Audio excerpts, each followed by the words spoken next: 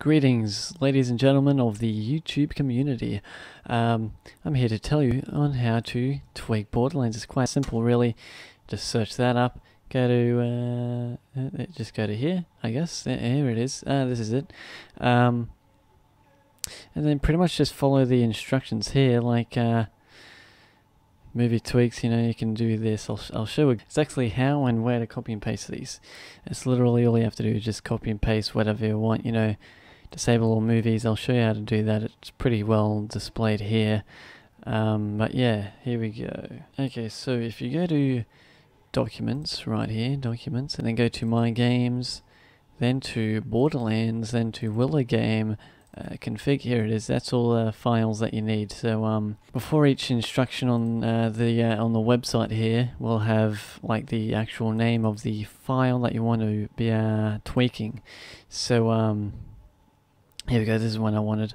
Uh, increased ragdoll duration. So here we go, uh, willowgame.ini. So willow, willowgame.ini. So then you right click, edit, and here we are.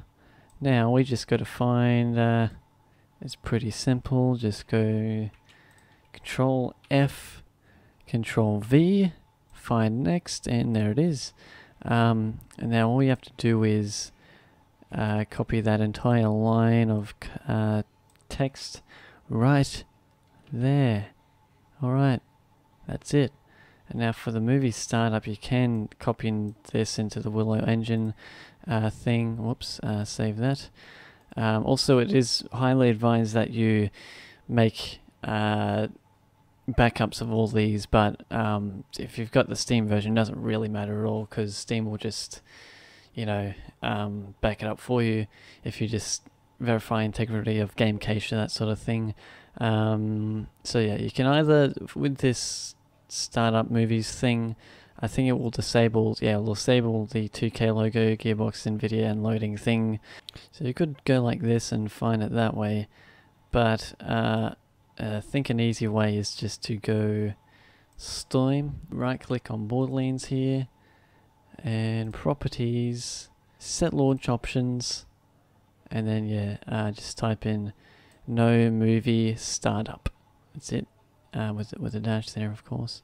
It's um, pretty well shown how to do that here as well. But um, yeah, another thing is here we go, Willow input. This is probably pretty. This is a really nice one too. Um, all you have to do is it's quite tricky as well. Willow input Willow input, Control F, Control V, find next, and um, yeah, you just check this line of text right down underneath this giant heap of stuff. There, you just add it under here, enter, control V, but I've already put it in so it doesn't matter. Um, and then you just save. I don't think I'll save it this time though because I've already done it. Um, that's about it really. Uh, there is a heap of other things here, uh, you know, third person and stuff, um, uh, voice chat, whatever. I don't know. There's heaps of heaps and heaps of stuff here. Uh, I'll put this link in the description as well. So thank you all for watching, and I hope you have a wonderful day uh, in the Borderlands universe.